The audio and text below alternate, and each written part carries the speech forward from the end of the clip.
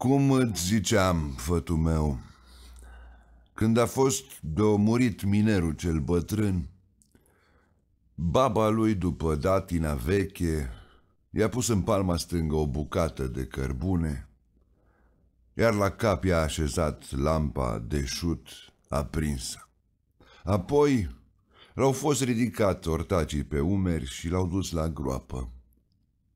L-au pomenit, l-au plâns, iar cei cu care băuse omul în viață i-au stropit mormântul cu un pic de răchie, ca să poată simți și în cea lume când ea fi dor. Duh de pălincă românească. Bun.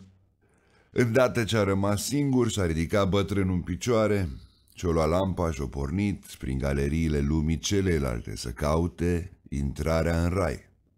Și fiindcă era bun miner, n-a rătăcit. A ajuns cu bine la ușa cea mândră a grădinii lui Dumnezeu și bătând în ea a cerut să-i se deschidă. Cine-i?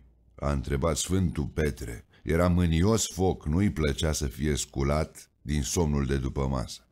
Ia ca un miner sărac și bătrân, i-a spus omul nostru.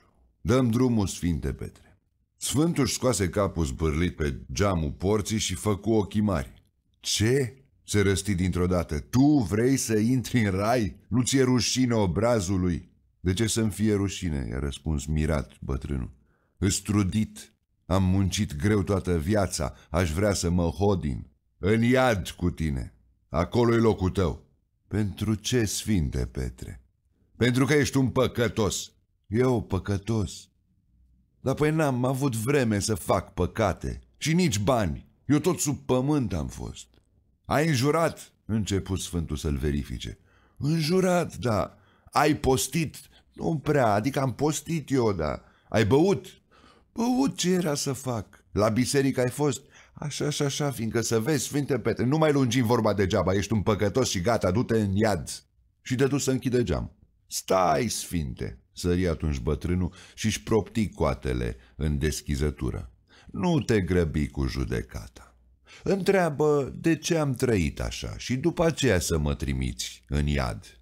Ei, Petre, Petre, oftă cu amărăciune cel miner bătrân, se vede treaba că și tu te-ai dat cu domnii. Sfântul se înroșii de rușine și de ciudă.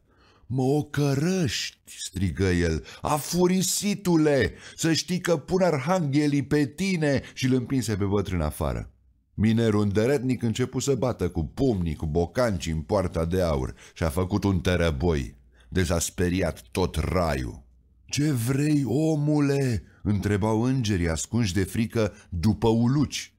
Vreau să fac o lăcrămație, strigă minerul. Vreau să ies la raport direct la Dumnezeu. Îngerii s-au crucit de atâta curaj și văzând că bătrânul nu se lasă și e gata să dărâme mândrețea de poartă, s-au hotărât să-l vestească pe Dumnezeu. Doamne, i-au zis, îndură-te și ne iartă că te tulburăm. A sosit un nebun la porțile raiului și vrea să intre cu forța. Ce să facem? Dumnezeu s-a mirat, apoi a dorit să-l vadă pe răzvrătit. A venit bătrânul și după ce a mulțumit frumos, noroc bun, s-a oprit în fața stăpânului lumii. Ce vrei, omule?" l-a întrebat Dumnezeu cu blândețe. I-a plăcut bătrânul miner pentru că nu se ploconea și îi se uita drept în ochi. Dreptate vreau, Doamne, a răspuns acesta. Vreau să intru în rai. Dar Sfântul Petru, care era pe aproape, sări îndată cu pâra. E păcătos, doamne! Singura mărturisit, înjură, bea, lucrează duminicile și mai e și pătăuș pe deasupra.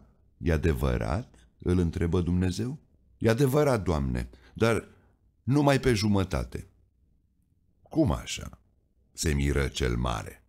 E adevărat că am înjurat, dar am înjurat numai pe aceia care mi-au furat rodul muncii, pâinea copiilor și am înjurat, fiindcă nu m-ai făcut destul de tare ca să le pot da în cap.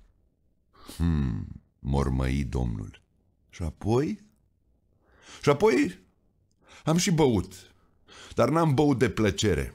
Am băut pentru că mă dureau oasele și tremura pe mine carnea de oboseală. și am mai băut ca să pot ține caldă în piept nădejdea în dreptatea ta. Că treaz... Hmm, mormăi pentru a doua oară, domnul. Dar de bătut. Te-ai bătut? Da, doamne, cu jandarii și cu polițiștii. Că am zis, sigur că ai adormit, doamne, că nu vezi ce e în lumea ta.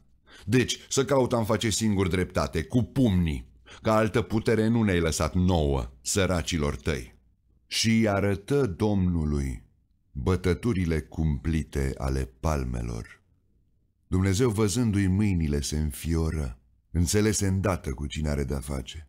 Ești miner, bătrânule, așa Da, Doamne. Uite cărbunele la care am lucrat și puse în mâna moșului lumii bucata de cărbune adusă din Petrila. Dumnezeu întoarse pe toate fețele, se uită la ea și apoi deodată întrebă, Minerule, văd aici în cărbunele ăsta urmele unei frunze din grădina mea. Ce-i cu ea? Doamne, îi șopti umilit bătrânul, frunza pe care o vezi a fost cândva verde și s-a bucurat de sfânta lumina soarelui. Apoi a trebuit să coboare sub pământ și a ars mocnit până s-a făcut cărbune. Frunza aceasta, Doamne, îi bietul meu suflet.